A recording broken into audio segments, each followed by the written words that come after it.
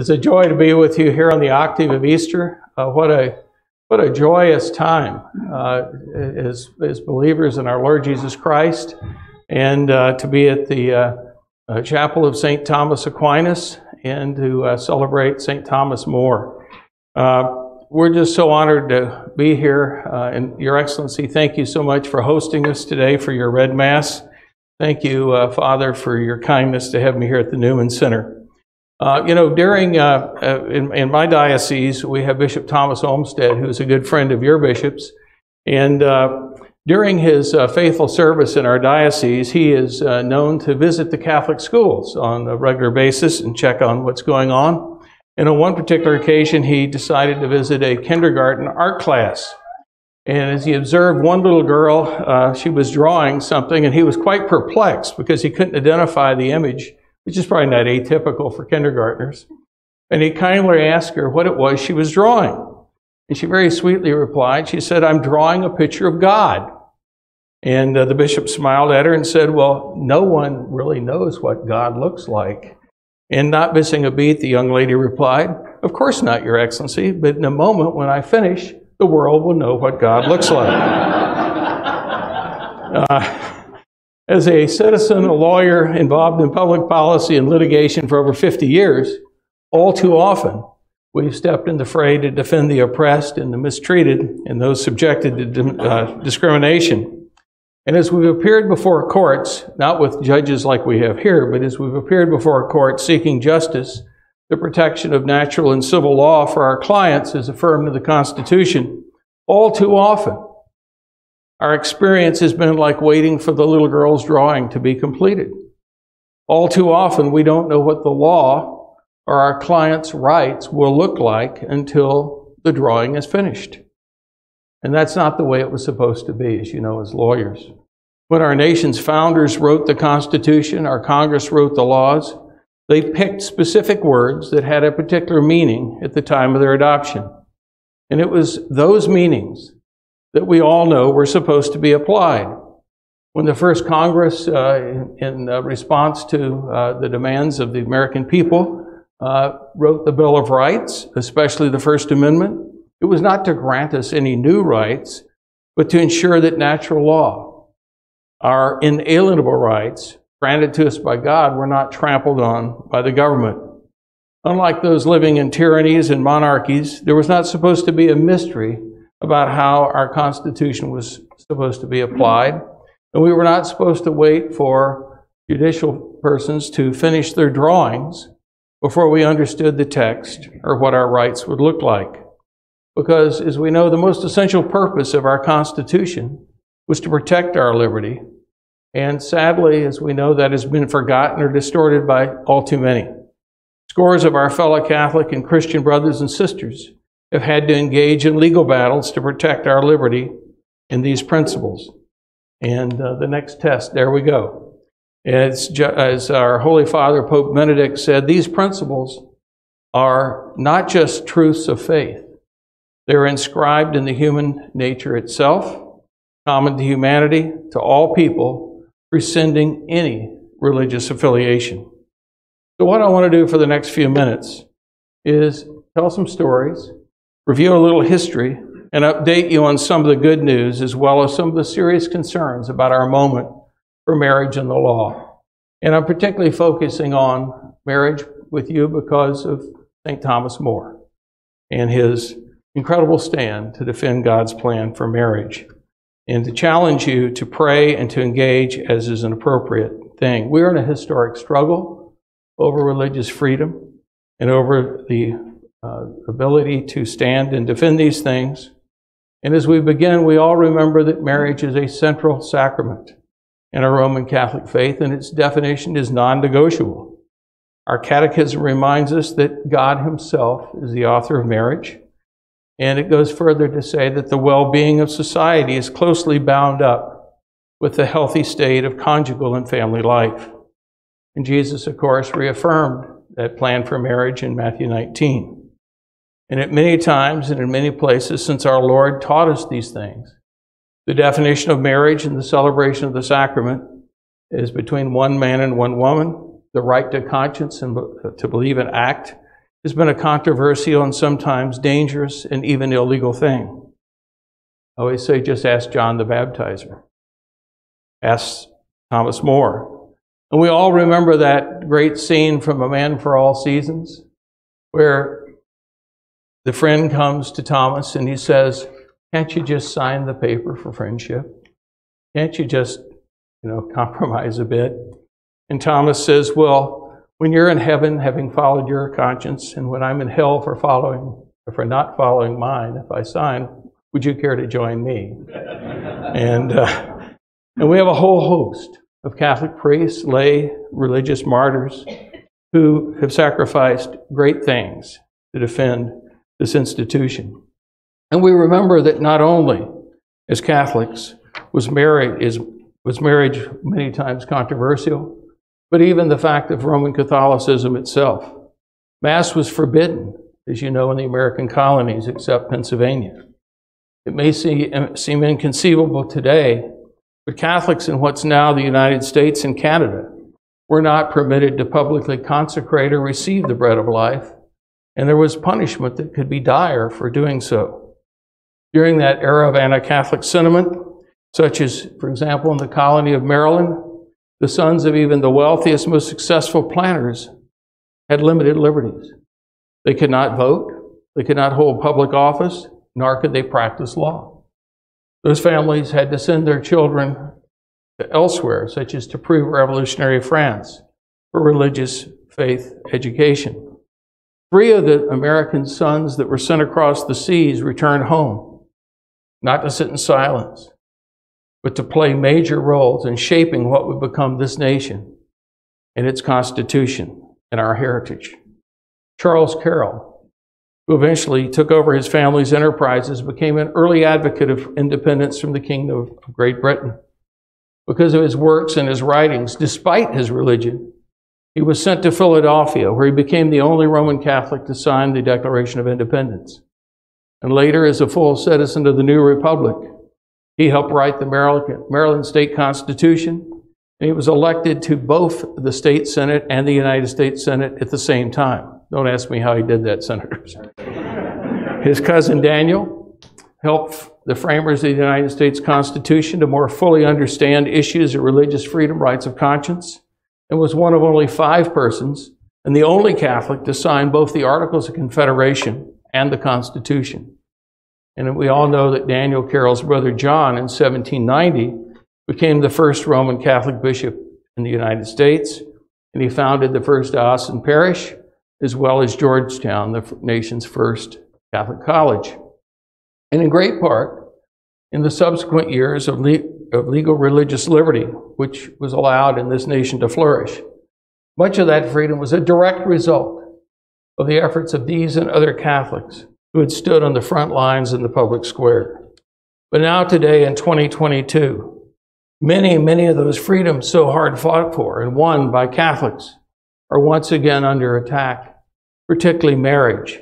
And it's again time for Catholics, indeed for all Christians, for all people of faith, to act, to step boldly back into the public square to reclaim our inalienable rights that were to be protected by the First Amendment, to proclaim the gospel the good news of Jesus Christ with our words and our lives as we so do.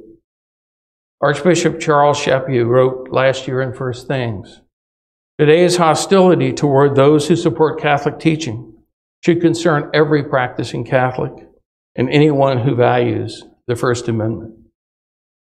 But in response to these many challenges to marriage, many faithful Catholics and other Christians are standing on our behalf as is your bishop and many of your priests here in Lincoln. So let's focus on some shining stars and otherwise dark and murky skies. Some of the heroic men and women who are standing for us in the public square. Bridget and Steve are the parents of five children. They are wonderfully faithful Catholics. They're both military veterans, and they're organic fruit farmers in rural Michigan, 22 miles outside of East Lansing. Every year after they finish their major harvest and sales, they invite St. Vincent de Paul and other local charities to come in and freely pick several tons of the remaining apples and other fruit to feed the hungry. They're really good people. For years, they've been welcome to bring their apples to sell at the local farmers market. But that changed in, in 2017 when Steve mentioned on a private Facebook conversation that he holds to the Catechism and the Catholic Church's teaching on marriage. Suddenly, East Lansing officials told him he wasn't welcome at their farmers market anymore. They said some people don't like these Catholic teachings. They might even launch a protest, which would cause disruption in our city. Steve, who served everyone with love and grace, took his apples to the market anyway. There was not a single protest. He actually had a record sale and not a single negative comment. But that was not good enough for the local officials. Steve's enthusiasm for civilization's several thousand year old consensus on marriage was at odds with East Lansing's up to the minute views on sexual orientation, and thus he had to be punished. But there was a problem. The family's country mill farm fell outside the city's jurisdiction, so they had to come up with a new rule, one that somehow authorized them to expand their venue and to exert authority beyond their jurisdiction. Under their new highly creative legislation, the town claimed it had the right to expel their family produce from the farmer's market. Now, do a little math here. Steve violated no law in the community where he actually lives and works. He violated no state or federal laws, and he violated no actual law even in East Lansing. He'd never been rude to anybody or, or preached to a customer or refused to cheerfully sell his apples to anyone of any persuasion or orientation who cared to buy one. But yet the leaders of this nearby city took it upon themselves to hunt him down and try to drive him out of business, simply because they disagreed with his family's adherence to our church's understanding of marriage. They were banned from the market because of believing what all of us here believe. I want to read to you just a little bit from the trial brief filed after the hearing in summer of 2021, five years after this all began, and from which we still await a ruling. Uh, I always, sometimes lay people tell me there's nothing closer to eternal life than waiting for lawyers and judges to act. The uh, brief says, like the plaintiffs in the recent Supreme Court case, Fulton versus City of Philadelphia, many of you know that was the case that stopped the city from forcing the Catholic charities to place adoptive children with same sex couples. like the plaintiffs, Steve, excuse me, Steve and Bridget Tennes want nothing more than to live their lives and do their work in accord with their religious faith. The state and federal constitutions guarantee them this freedom, but not East Lansing. East Lansing officials disagree with the Tennes' Catholic marriage beliefs and the speech and conduct that flow from them. So they targeted them for removal from the farmer's market, changing the guidelines for that purpose, singling the farm out during the application process, and using a discretionary system of individualized assessments to ban only them from future market participation. These officials did this while publicly denigrating the Tennes's religious faith and practices. Let us thank God for their courage, and as we have now passed the five year mark, let's pray for them. The next person I want to tell you about, the next story, is my dear friend, Kelvin Cochran. Kelvin has uh, become a dear friend over the last decade. He tells me he grew up in uh, Shreveport, Louisiana, so poor they couldn't afford the whole word poor, and they called themselves P.O. Po. He, uh, uh, when his father abandoned their family with several children, his single mom had to leave public housing. They moved into a shotgun shack in an alley. And uh, he experienced some of the worst forms of racism and hatred. But thanks be to God, he has no hate. He uh, once, as a small boy, saw a fire break out in another one of the shacks. He saw the firefighters rush in and save the day. And he said, Mama, when I grew up, that's what I want to be. But there was a problem. Black people could not be firefighters.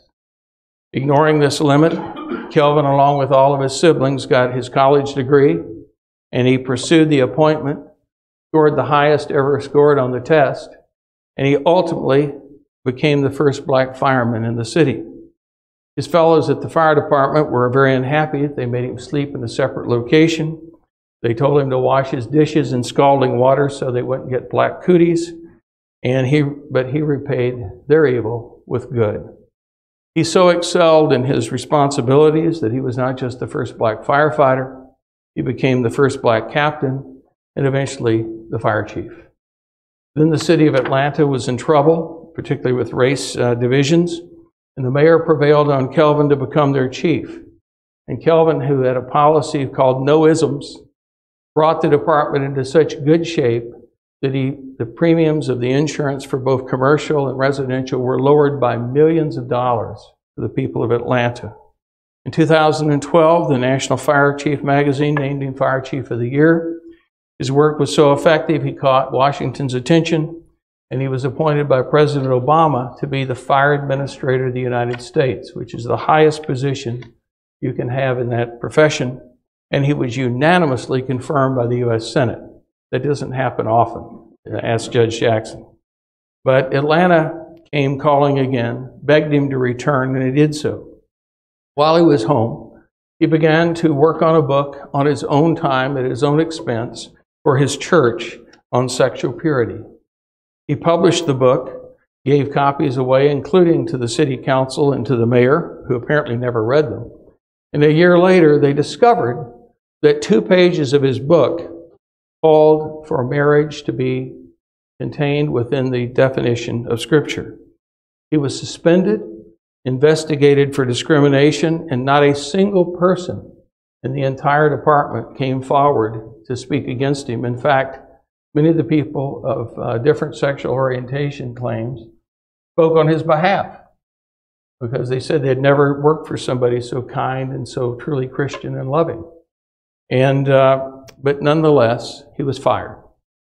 Not because he'd done anything that he was not supposed to do, but because he had the audacity to uphold marriage as between a man and a woman.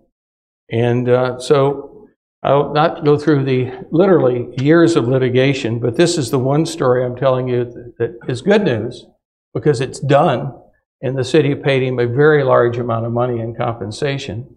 And he's now head of the Human Resources Department for the Alliance Defending Freedom. so,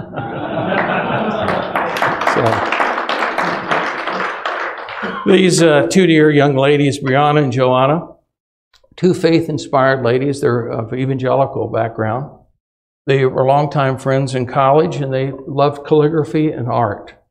And they came up with the idea that they wanted to work together to launch an artistic studio to create original art for weddings, baptism, confirmations, and other faith based events.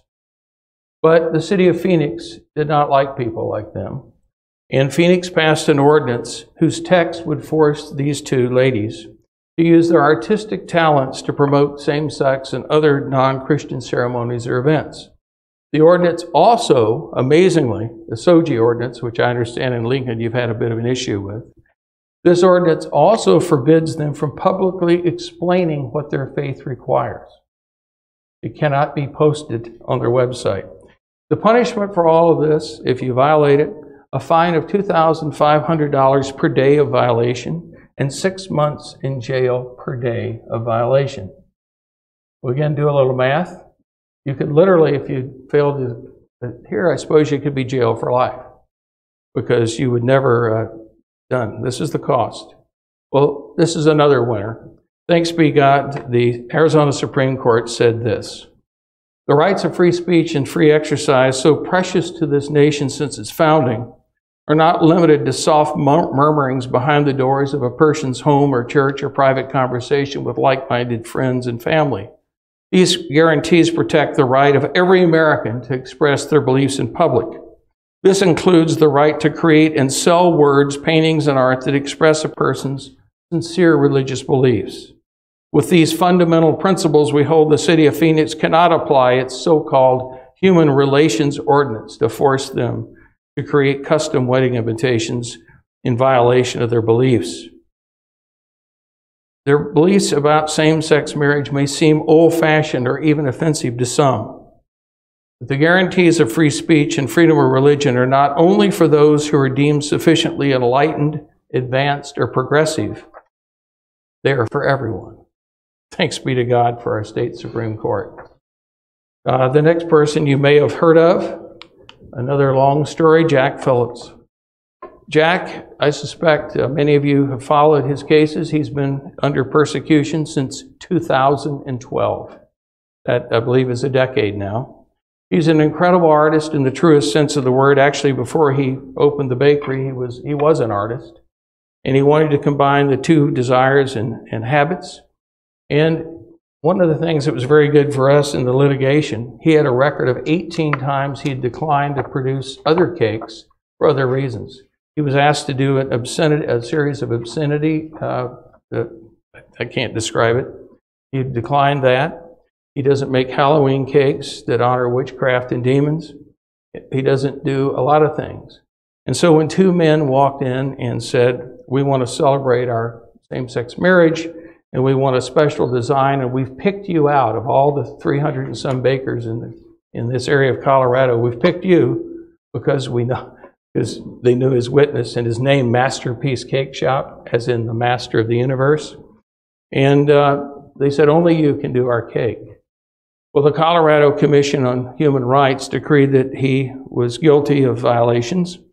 They ordered him to keep a running tally of every client that came in the door, what they asked to do, what his response was, and turn that over monthly to the government. And they ordered him and his employees, including his then 90 year old mother, to undergo government re education to convince them that the teachings of their faith and conscience were wrong. As a result, Jack was forced out of the wedding cake business, which was over 55% of his income. And during this now decade long fight, he and his family have suffered unimaginably. Two of my daughters flew up to Denver to spend the day with him to help him clean and redecorate his shop and provide him some new furniture. And even my daughters, uh, when they were out cleaning the windows, were subjected to drive-by cursing from people who actually screamed, uh, "You're intolerant! You can't make this up." Thanks be to God, when this case finally reached the Supreme Court in 2018, we had good news. The uh, High Court ruled seven to two that the commission had discriminated itself, reversed the uh, order, and granted Jack what he thought would be some religious freedom. The very day the decree came from the Supreme Court, a person contacted his office and said, We would like you to make a new cake. We want a transition cake, uh, blue on the, outs- on the inside, pink on the outside, with a very elaborate design celebrating our gender change. And of course, Jack said, Have you read the paper? And they said, Yeah, that's why we're calling you and they demanded uh, he do that. Uh, the, believe it or not, the same commission that had just lost 7 to 2 at the Supreme Court brought a new action against Jack. We ultimately resolved that favorably, and uh, yet lo and behold, after that was done, the third case comes. And uh, that was argued uh, in March of last year, and Jack uh, was being persecuted under this same ordinance, but this time a, a civil uh, action was brought uh, rather than the commission.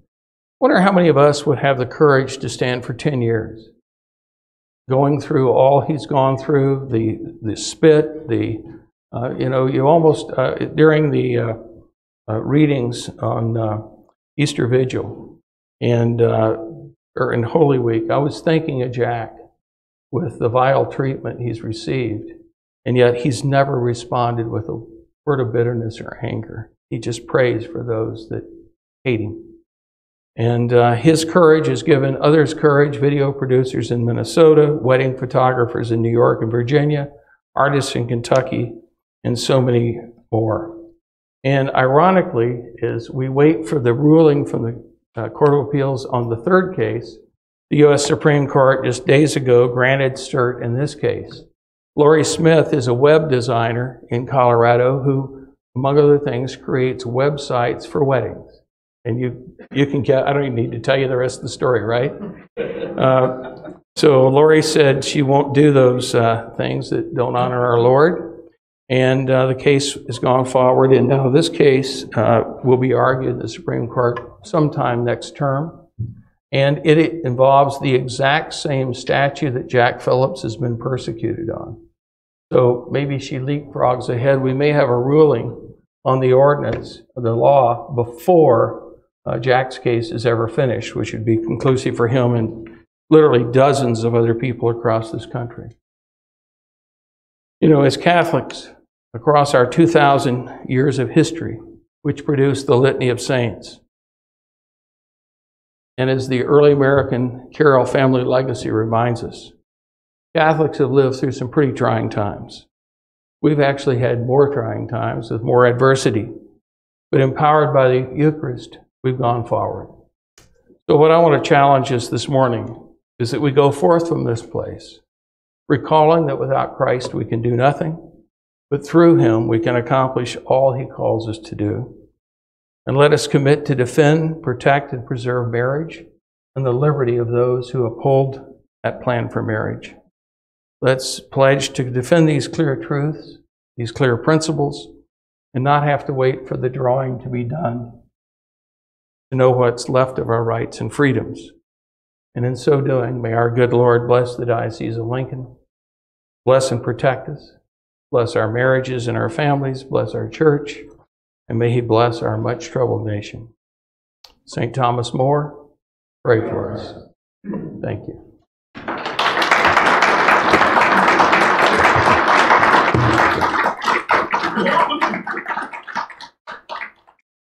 Yeah.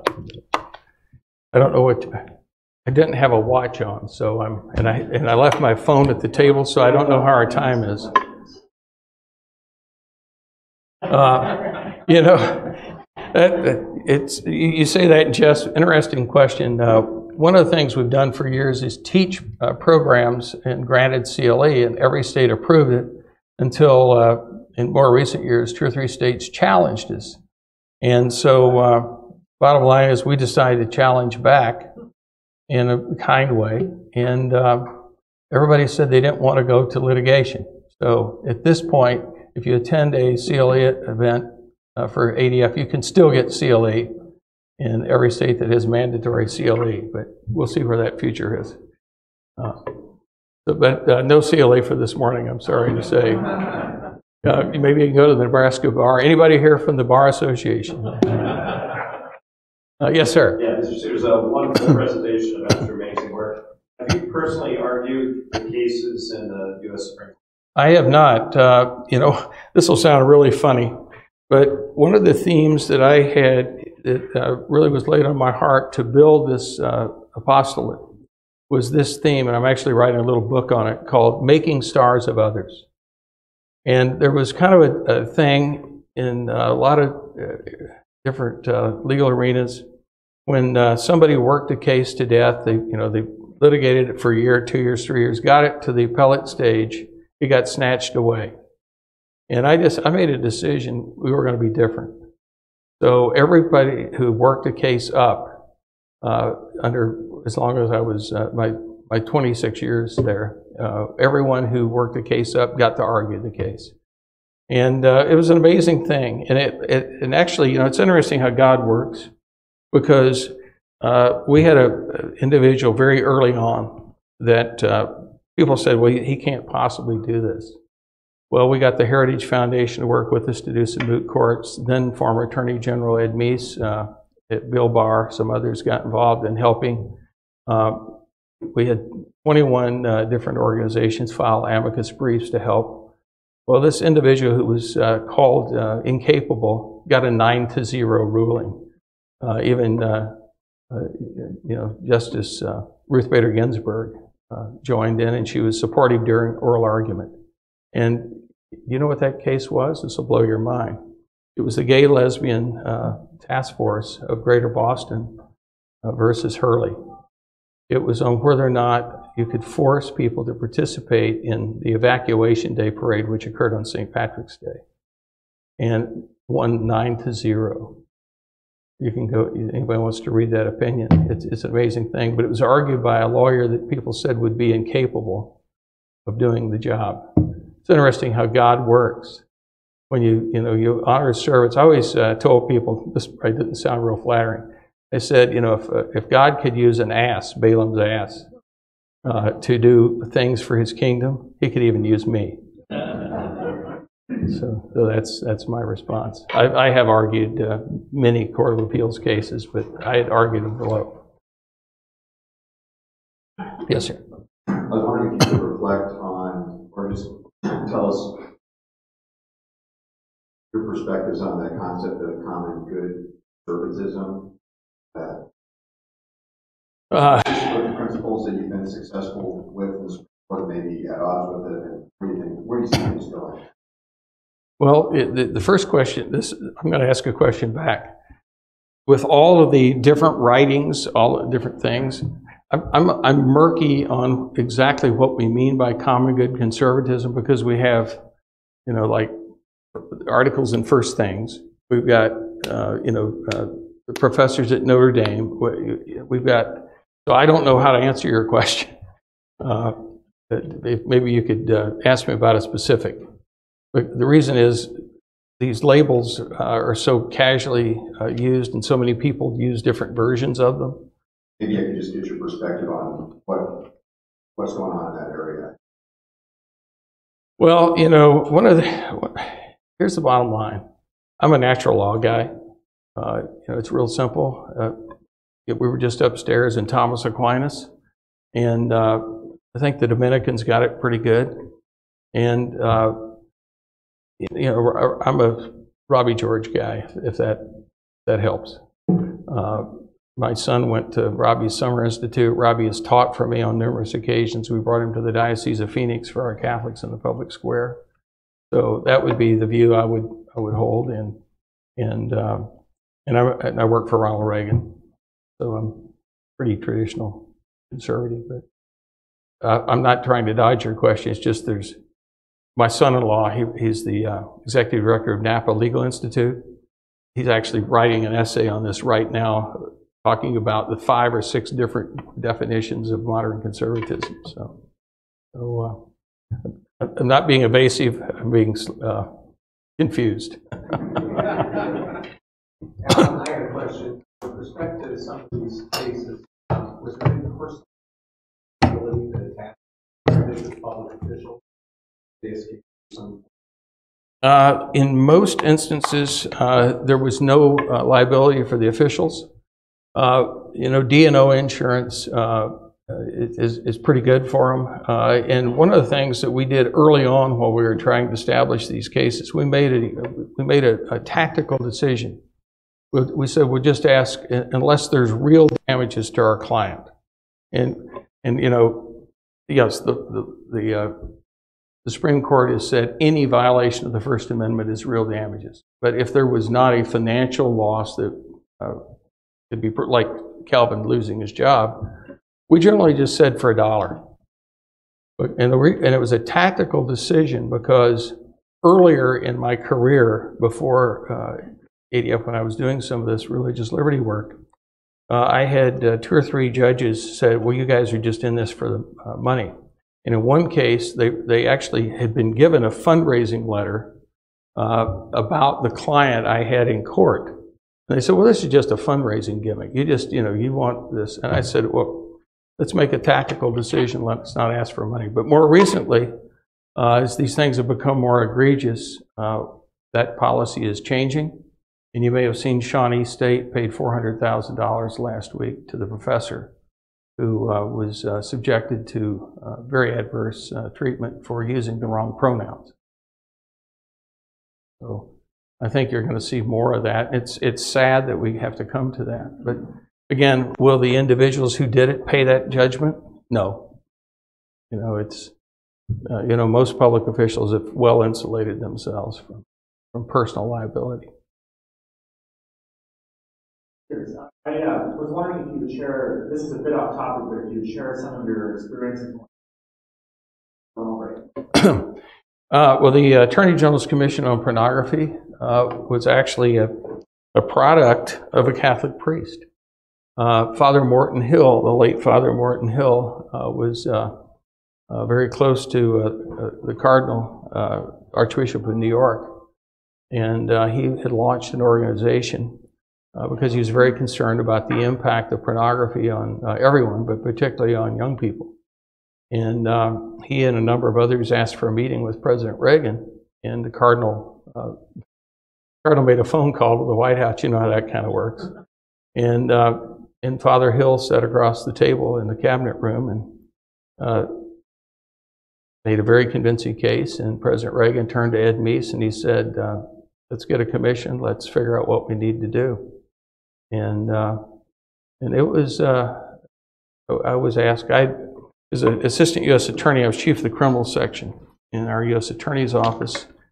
And uh, I'd had a group of citizens, this, this is TMI probably, but a group of citizens come in and dump a grocery bag of uh, the foulest stuff you could ever imagine on my desk and my U.S. attorney's desk and said, why is this in our, why are you allowing this to be sold in our district? And all we had to do was look at the covers, which I can't even describe. And we said, why are we allowing this to be sold in our district? It was clearly um, seen in the military. So we prosecuted. And we, uh, we took out uh, quite a number of the outlets and we uh, identified and prosecuted successfully the largest uh, distributor of hardcore obscene material in the world. And that was what led to me being asked by the White House to take that executive director position. We had 15 months uh, traveling, seeing the underbelly of the country. Uh, we made a recommendation uh, to uh, Congress.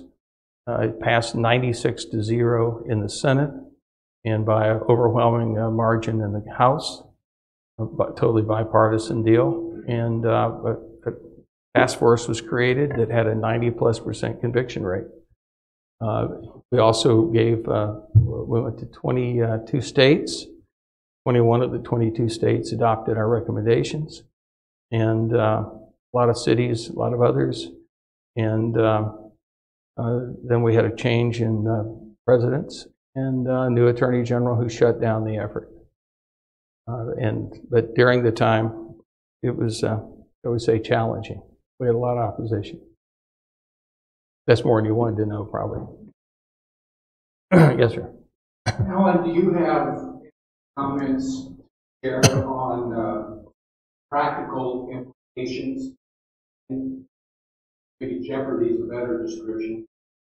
Having a definition of professional misconduct includes so wording. Well, if you're talking about the ABA model rule, first of all, I, I somewhat re, rebel at the concept of model uh, rules when they attack our most basic uh, right of conscience.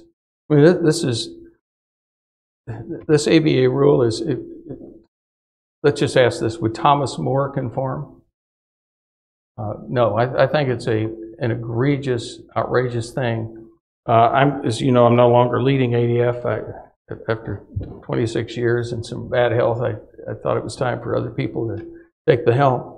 But uh, one of the things we set up was uh, a group to deal with bars, and there is expertise there. I don't know, Tom? Where's Tom been? Uh, Is ADF working with you on this issue in Nebraska? Yeah. Okay, because it, uh, I I just think it's a, I don't know what adjective to use that I can be quoted, uh, you know, we're- I'm being recorded, so I just say it's, it's uh, outrageous. And I would, I would give it everything I had to oppose it. Uh, Because I would, I will tell you, uh, from our friends who uh, participate, we have a number of people who belong to the ABA and serve on a number of committees by design, and this is just the beginning of what uh, people want. This is, this is just a little foot in the door. Uh, ultimately, I'll make, I'll make a wild projection. The day will come that they would not want people who hold our view on marriage and other issues to even be members of the bar, period. Try that on for size. You can leave here and say, boy, that guy's over the top. But I've, I've heard them. Uh, many years ago, I sent uh, two individuals, uh, law professors, to uh, King's College in London to an international conference. And uh, they freely talked about things that are happening now. They, they basically said that people that hold uh, traditional views on marriage and sex should not be allowed to have employment. Period. And attending that conference were politicians and judges from across the globe, even a judge that was sent there by the then president. How's that for a conversation starter? Excellency. Thank you for coming. Great. Catholic schools, um, what do we need to do to prepare?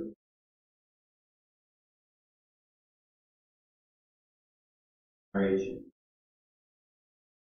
Um, we, are we still pretty protected as we stick what we do?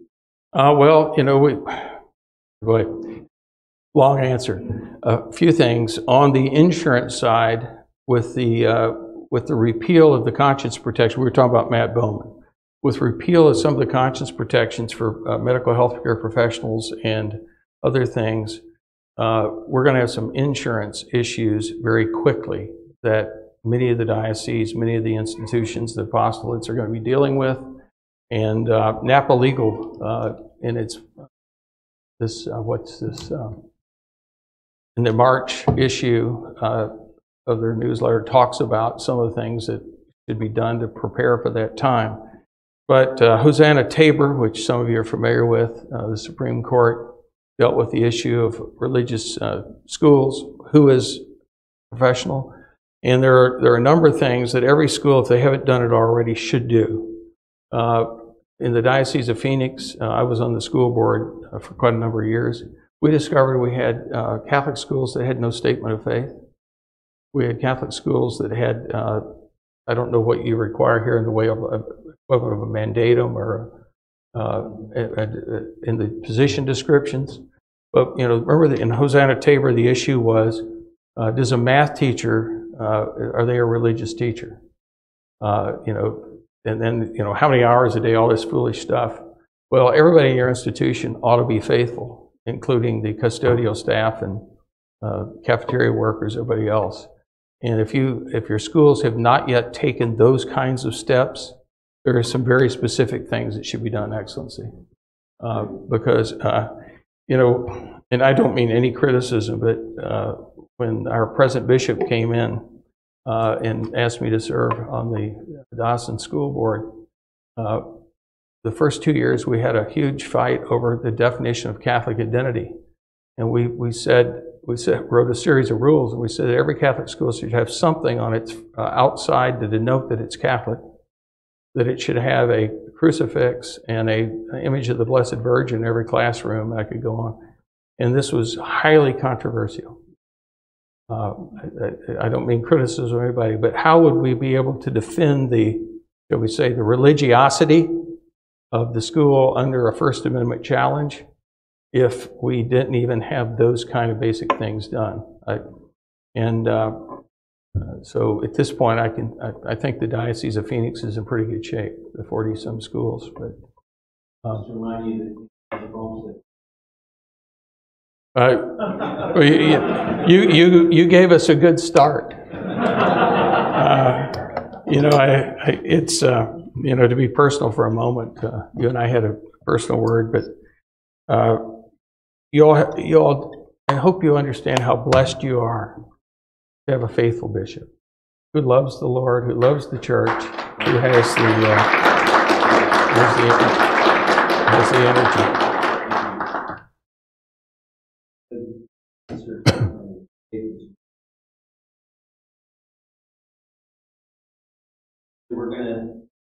Truly Catholic, have a Catholic flag, and what we. Yeah, what's the point? If, if we're not truly Catholic, if we're not truly faithful, why, why should we spend, uh, you know, I, I know what it cost me to have uh, four children in Catholic school at once. it was cheaper when they went to college.